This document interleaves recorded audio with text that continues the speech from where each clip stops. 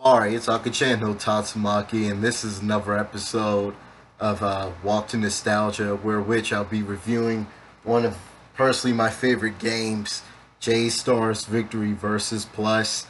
Uh, I felt I felt like it's apparent to review this game now because of the current uh, Shonen Jump Smash game that's coming out, Jump Force, and you know more or less I just wanted to get out of the way so I can get in deep, more balls deep between this game and the current one in I feel.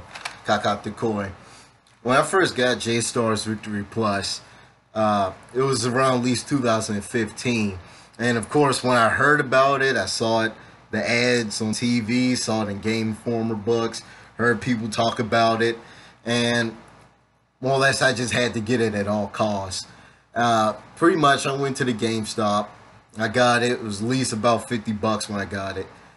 And of course, when I first popped it into the PS3, I was hyped. I'm like, this game had everyone. They had the it had Goku, it had Ichigo, it had uh, it, it, it had a lot of people, but more or less I was really hyped when I first played it.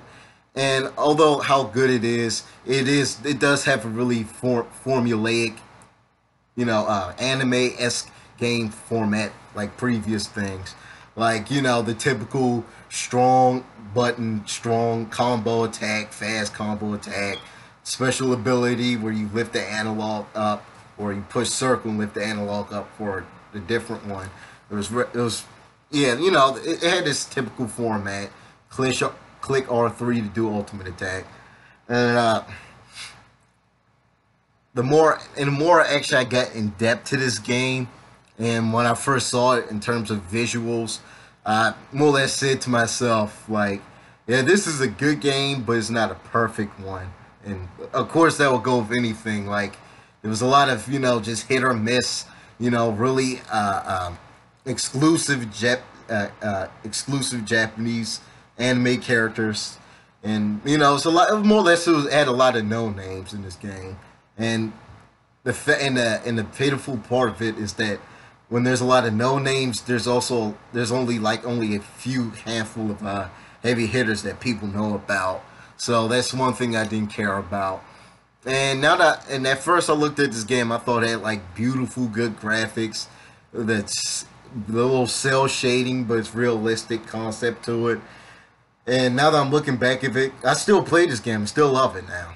I'm looking back at it. I'm playing it, and what I can and what I think I'm looking back at the graphics wise, and more or less, I kind of realized how dated they look.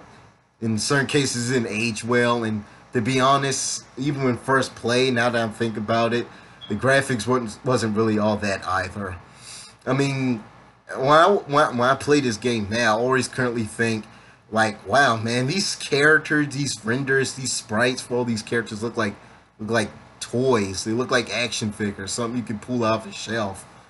Um, uh, more or less, yeah, that's how I felt. Visually, it's it didn't age well, and in terms of mechanics, it's really formulaic. It's really here and there, you know, button push, ultimate attack, you know, Ninja Storm's Budokai Tenkaichi X mechanics to it, and even for and and this game in general is just a really clunky mess. Like you'll like literally push a whole combo on somebody and at least take like I don't know 50 minutes for them to actually budge. It was clunky, the combos were clunky, the recovery time was terrible, and some characters in this game uh, momentum just eats up every time you at least do one of the most uh, uh, uh, brittle attacks in the game. So more or less, I was in and out with it. I mean, it's not bad. I still enjoy it. It's it's uh, mm, what type of game? What's that that word they, they came up with? It was uh, it's a guilty pleasure game. It's good. I can still go back and play it, but it's still a clunky and clunky and unorthodox mess. So uh, I'll be giving uh, uh, J Stars adequate. I mean, they could have done better, but I'm still looking back at it. I'm still actually I'm, I'm saying this without any sugarcoating at all. You know how much I like this game, even when I first got it. I can still openly admit that uh, it was a clunky mess and it was buggy, clunky. Uh, you know, here or there, hit or miss game uh, uh, title. So yeah, I'm giving it inadequate. And now that we're off the discussion of J Stars, I would like to get on the discussion of uh, Jump Force. Um, I know like everyone in the comment section is like gonna like have me on a spit right now when I say this, but I'm gonna be for real with y'all. I'm gonna be 100. I'm not curious at all about Jump Force. Jump Force in general just doesn't amaze me. Uh, it just it's just not it, it doesn't it just seems like this game, but just with better graphics and from all the, from all the reaction videos I saw, everything people had to say about the trailer about the game, all they said is how good the graphics was. I mean, from even looking at the trailers and how some the comp the combo input is, it still looks like a clunky mess, and the recovery time on the game still looks like shit.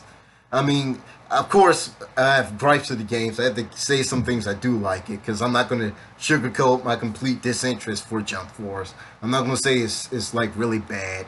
Uh, yeah, so like as people said, graphic wise, it looks clean, but also just like J Stars, it kind of suffers from you know looking like an action figure. I mean, the, the the overall renders, the overall sprites for Jump Force just is not appealing to me.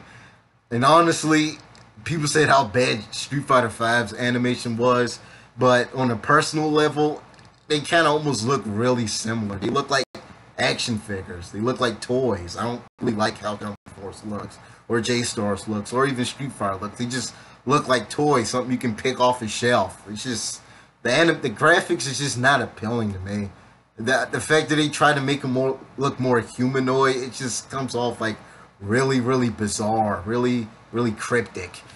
Uh, in a lack of in a better put words. I mean, but yeah, the only things I can say, the graphics was good, and uh, I like how they actually have the manga only uh, Bleach characters because I actually really do like the Quincy Saga, and I like the fact that Shonen Jump still knows Bleach in itself is relevant, and they're not going to just stick to, you know, what happened in the past, what happened in the anime. They're going to stick to what's helped for Bleach. So that's another thing I like, and uh, pretty much also like the Dead or Alive Tekken esque uh, uh, uh, Injustice um, select screen uh, hits. Yeah, you know when you transition to another part from Pacific Punch. I mean that looks kind of interesting, but that's really about it. Uh, I'm not curious about the game because it's just J Star, and J Star is not bad. I just feel like there's no point in just getting the exact same game. Uh, I'm not crazy about Jump Force, more or less. I don't like how I graphically don't like how it looks. It still looks clunky. It still looks clunky. The recovery time still looks like shit. It looks like it's slow. I mean, I probably might be wrong. They're still probably fixing it now, but from what I've seen right now, it's just not tugging any strings for me. so yeah, that's all I gotta say for this review. And like and subscribe and whatnot. You know, uh, hit the notification bell, and you know, I'll be around. You know, Kwaheri, man. Kwaheri. And look out for uh, uh, two more videos later, this later this time.